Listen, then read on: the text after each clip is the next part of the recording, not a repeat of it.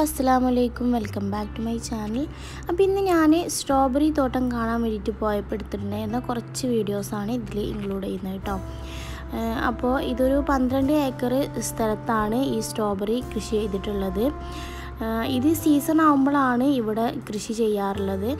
ഒരു നാല് മാസക്കാലത്തോളമൊക്കെ ഇതിന്റെ കൃഷിയും വിളവെടുപ്പൊക്കെ ഉണ്ടാവും എന്നാണ് അവർ പറഞ്ഞത് കേട്ടോ. അപ്പോൾ നാല് കാലം കഴിഞ്ഞാൽ പിന്നെ ഇത് ഇവിടെ മൊത്തത്തിൽ ക്ലോസ് ആവും.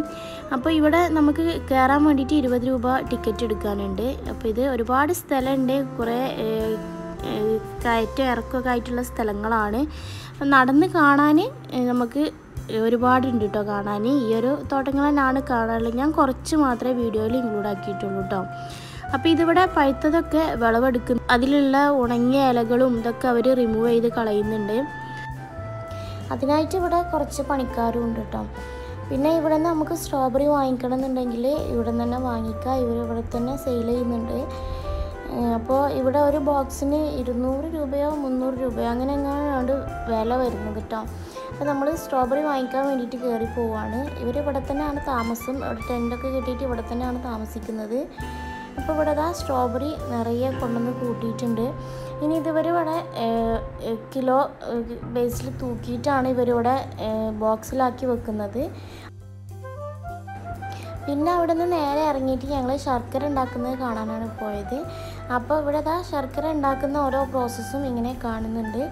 ഡീറ്റെയിൽ ആയിട്ടൊന്നും ചോദിച്ചിട്ടില്ല. ജസ്റ്റ് ഒന്നിങ്ങനെ വീഡിയോ എടുത്തതാണ്. അപ്പോൾ ഇവിടെ പല ഫ്ലേവറിലുള്ള ശർക്കരയും കിട്ടുന്നുണ്ട്. ചോക്ലേറ്റ് സ്ട്രോബെറി അതുപോലെ തന്നെ ചുക്കൊക്കെ ഇട്ടിട്ടുള്ള ശർക്കരയൊക്കെ ഇവിടെ അവൈലബിൾ ആണ്. മൂന്നാർ പോയ സമയത്ത് ഇതുപോലെ പല സ്ഥലങ്ങളിലും ഇങ്ങനെ മറയൂർ ശർക്കര ഉണ്ടാക്കുന്നത് കാണാൻ പറ്റിയിട്ടുണ്ട്. അപ്പോൾ ഞങ്ങൾ ഒരു സ്ഥലത്ത് കണ്ടപ്പോൾ ഒന്ന് കയറി നോക്കിയതാണ്.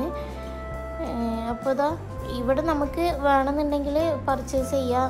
ഇവിടെ സെയിൽ ചെയ്യുന്നുണ്ട് കേട്ടോ നമുക്ക് വേണ്ട അത്ര ക്വാണ്ടിറ്റി ഇവിടുന്ന് പർച്ചേസ് ചെയ്യാൻ പറ്റും. അധികം കച്ചറയൊന്നും ഇല്ലാത്ത നല്ല ശർക്കര തന്നെയായിരുന്നു കേട്ടോ ഇവിടുന്ന് വാങ്ങിച്ചത്. പിന്നെ ഇവിടെ പല ഫ്ലേവറിലുള്ള ശർക്കര ഉള്ളതുകൊണ്ട് തന്നെ നമുക്ക് വെറുതെ കഴിക്കാനും നല്ല ടേസ്റ്റ് അപ്പോൾ ഇത്രയേ ഉള്ളൂ ഇന്നത്തെ വീഡിയോ. എല്ലാവർക്കും വീഡിയോ ഇഷ്ടമായിട്ടുണ്ടാവുമെന്ന് വിചാരിക്കുകയാണ്. അപ്പോൾ ഞാൻ എപ്പോഴും പറയുന്ന പോലെ തന്നെ വീഡിയോ ഇഷ്ടമായിട്ടുണ്ടെന്നുണ്ടെങ്കിൽ വീഡിയോന്റെ താഴെ കാണുന്ന ലൈക്ക് ബട്ടൺ പ്രസ് ചെയ്തിട്ട് വീഡിയോ ഒന്ന് ലൈക്ക് ചെയ്യാൻ മറക്കരുത്. അതുപോലെ തന്നെ ചാനൽ ആദ്യമായിട്ട് കാണുന്ന കൂട്ടുകാരുണ്ടെന്നുണ്ടെങ്കിൽ ഒന്ന് സബ്സ്ക്രൈബ് ചെയ്ത് സപ്പോർട്ട് ചെയ്യാനും കൂടെ മറക്കരുത് കേട്ടോ അപ്പോൾ ഇനിയും ഇതുപോലുള്ള നല്ല നല്ല വീഡിയോസും വ്ളോഗ്സും റെസിപ്പി വീഡിയോസൊക്കെ ആയിട്ട് ഞാൻ വീണ്ടും വരാം. അതുവരേക്കും എല്ലാവർക്കും ബായ്